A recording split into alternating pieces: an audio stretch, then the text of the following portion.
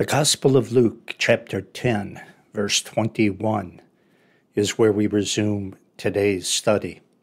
Luke 10, 21. Get your Bible, if it is possible, so that you can read the Bible with me because we understand that the Word of God is far and away the most important thing. It's your most valuable possession. So it's good to read it along with me. Again, Luke 10 21 in just a minute. Do want to remind you that the scripture verse by verse website is found at the Bible verse by verse.com. There you can study all of the Bible with me four times, all the way through, in depth Bible study, verse by verse. Going back over 35 years, it's all there. You choose which series, choose which chapter, which book, which section. Click and listen. That's all you got to do. And all you need to bring is your Bible to the Bible verse by verse.com. Okay. Father, we pray that you would sanctify us by your truth. Your word is truth. In Jesus' name, amen. Luke 10 21. In that hour, Jesus rejoiced in the Spirit and said, I thank thee, O Father, Lord of heaven and earth, that thou hast hidden these things from the wise and prudent, and hast revealed them unto babes. Even so, Father, for so it seemed good in thy sight. Some people are too smart for their own good. Some people think they even know better than God's word. Sophisticated intellectuals crossing their legs, drinking their $10 cup of coffee, thinking they are just so smart, snickering at the Word of God, snickering at the idea that Jesus is the only way to be saved or that they are somehow so bad that they need a Savior. Whoa, they got a billion dollars in the bank. They can't be too bad. So they snicker and they scoff and they think they're so smart. They're too smart for their own good. They think they know better than God's Word. And you are sure to be damned if you carry that attitude with you until you're dead. But that's how they are. If something in the Bible doesn't make sense to them, they either rationalize it away or they twist it to fit their own thinking rather than simply accepting it as true. Intelligence is a gift from God. And like any other gift, it is a blessing but only if it is under the lordship of Jesus Christ and submitted to the authority of God's Word. Some people are very, very intelligent, lots of natural ability, lots of, lots of intelligence. The problem is they're not submitted to the lordship of Christ. So they waste that intelligence on stupid things that ruin their lives and the lives of their family members too. And they're miserable.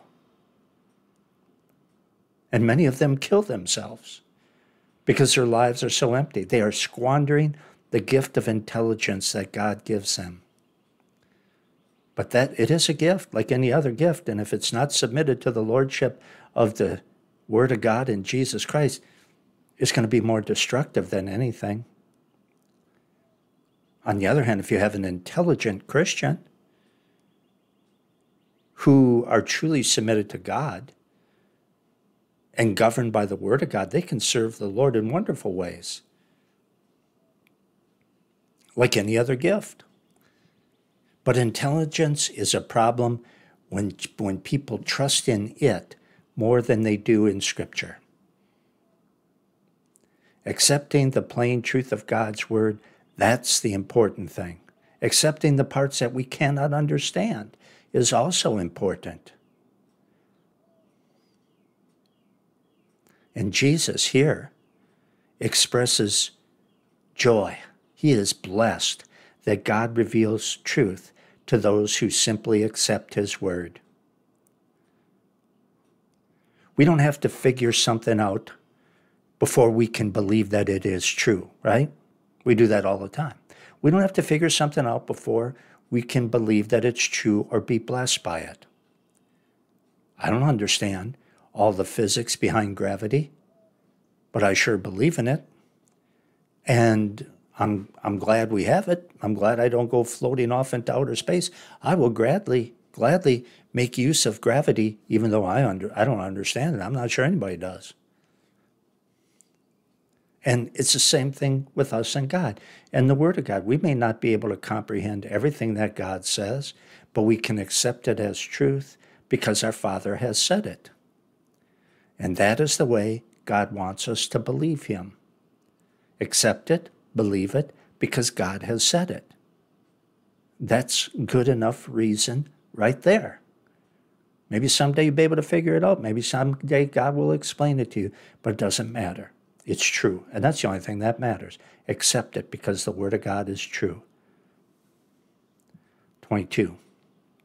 Jesus said, All things are delivered to me of my Father, and no man knoweth who the Son is but the Father, and who the Father is but the Son, and he to whom the Son will reveal him. Jesus reveals the truth about God to Christians. Jesus reveals truth about the Father to Christians. Jesus teaches Christians about Almighty God that no one else knows, and consequently, we are able to learn things about our Creator that no one else knows. Because we Christians have Jesus and the Spirit of Jesus living inside of us and the Word of Almighty God before us. And that is a dynamite combination. And the closer we are to Christ, the better that we understand the Father, because the smoother the communication is between Him and us. 23. And he turned unto his disciples and said privately, Blessed are the eyes which see the things that ye see. Do you know? and this is impossible to argue with, in my opinion. Did you know that the disciples are the 12 most privileged men to have ever lived on planet Earth? No question about it, because they knew the Son of God personally, and they lived with him for over three years in person. They were eyewitnesses to all of his tremendous miracles. They saw him calm the raging storm. They saw him walk on water in the midst of one of those storms. They, they saw him countless times healing the sick, giving sight to blind, healing paralytics, curing the incurable disease of leprosy, raising people from the dead, multiplying bread and fish to feed thousands from a little boy's lunch. You know, Jesus did so many miracles that they lost count. But they experienced them all. Too bad they didn't have computers back in those days. They could have, you know, put all that data into a computer. We'd have a record of all the miracles that Jesus did. As it is, they just lost count. There's not enough paper in the world, John said, to write them all down. And here, Jesus just wants his 12 to step back and think about just how blessed they have been and are. It's good to step back. All of us, it's good to step back and look at all the good things that God has done for us. In fact, one of the best spiritual, spiritual exercises we can do is count our blessings. 24. For I tell you that many prophets and kings have desired to see those things which ye see, and have not seen them, and to hear those things which ye hear and have not heard them. And that is so true. God's people in Old Testament days understood from the Bible that he would eventually send a Savior. Consequently, generation after generation waited and hoped. But generation after generation eventually died without ever seeing those promises come to pass in their lifetime. And the disciples, they were blessed because they were alive to see it, and they were his eyewitnesses. He chose them. Jesus is reminding them of how blessed they have been. It is good for us to focus on the good that we have rather than the things that we wish we had. If we spend too much time thinking about the things we would like to have, we squander the good times we could be having with the things that God has given us. 25. And behold, a certain lawyer stood up and tested him, saying, Master, what shall I do to inherit eternal life? the premise of this man's question is completely wrong. His question revealed a problem in his thinking and in his theology. And that's the first thing that needs to be corrected. See, he believed that a person could get right with God by being good enough. He was wondering how good he had to be, how many good things he had to do in order to be right with God. That was his question, his specific question. So, look at 26. Jesus gives him a specific answer to that specific question. He said to him, what is written in the law? How readest thou? The man's question was, What good things must I do to inherit eternal life? Our Lord's initial answer is, What does the law of God say? In other words, what does the Bible say? If there's a question about right and wrong behavior or how to get to heaven, the answer is found in Scripture and nowhere else. 27. And he answering said, Thou shalt love the Lord thy God with all thy heart, and with all thy soul, and with all thy strength, with all thy mind, and thy neighbor as thyself.